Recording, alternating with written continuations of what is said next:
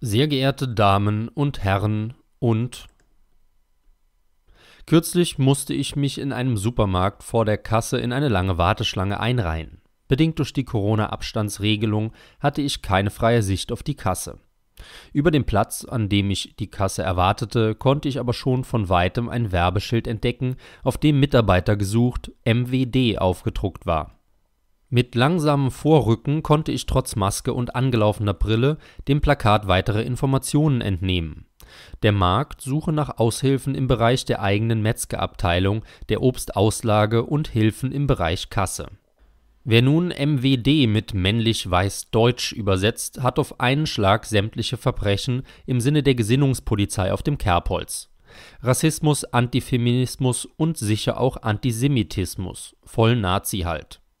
Also übersetzte ich die Kürzel, hoffentlich korrekt, mit männlich, weiblich, divers. Ganz sicher war ich mir aber nicht.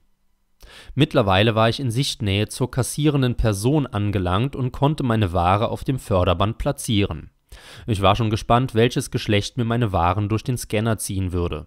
Saß die Person doch maskiert direkt unter dem Bewerbungsplakat. Wegen der Gesichtsmaske war es nicht leicht, das Geschlecht zu bestimmen. Die Person trug zwar Kleidung, wie sie von weiblichen Personen bevorzugt wird, und hatte auch die blonden Haare zu einem Pferdeschwanz zusammengebunden, an Armen und Hals war sie fast bis zum Kinn tätowiert. Auf den Fingergliedern der rechten Hand, mit der sie die Ware zu sich zog, konnte ich deutlich die Buchstaben H A S S lesen. Auf den Fingern der Geldannahmehand entdeckte ich später L O V E macht 35,20 Euro. Haben Sie eine Kundenkarte? säuselte sie professionell meinem Vordermann zu. An der Tonalität der Stimme, die ich spontan einer weiblichen Person zuordnete, immer gedämpft durch den Mundschutz, glaubte ich nun, mich auf Frau festlegen zu können. Ganz sicher war ich mir aber nicht, denn man weiß ja heutzutage nie. Jetzt war ich dran. Gott sei Dank, auf dem Namensschild ihrer Uniformbluse prangte Frau Meier. Jetzt war ich am Überlegen. Bei einem Mann wäre bekannterweise Herr Meier auf dem Namensschild zu lesen gewesen, aber bei D vielleicht S. Meier. Das gab es schon früher bei uns auf dem Land. Anreden und Bezeichnungen wie Slisbeth oder Schorschle. Bei Briefen fragte ich mich schon seit Einführung der neuen Geschlechterdiversitäten, wie denn nun eine korrekte Anrede zu formulieren sei. Sehr geehrte Damen, Herren und sonstige. Wer traut sich heute noch andere Geschlechter zu übersehen? Dabei sehen alle unsere Kämpfer für Feminismus, Gleichstellung und Antirassismus den Wald vor lauter Bäumen nicht.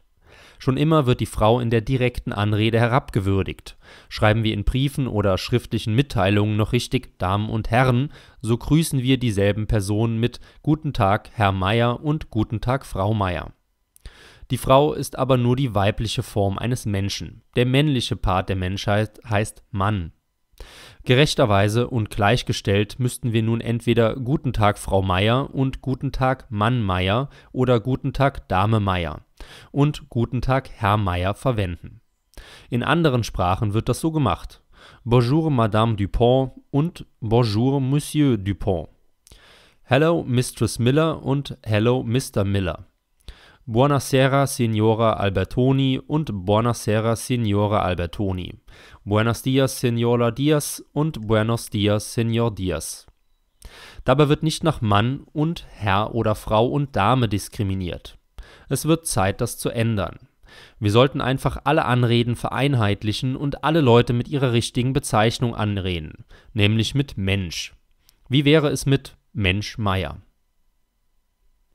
Sie hörten einen aktuellen Beitrag von Herbert Kuhn, nachzulesen auf ef-magazin.de.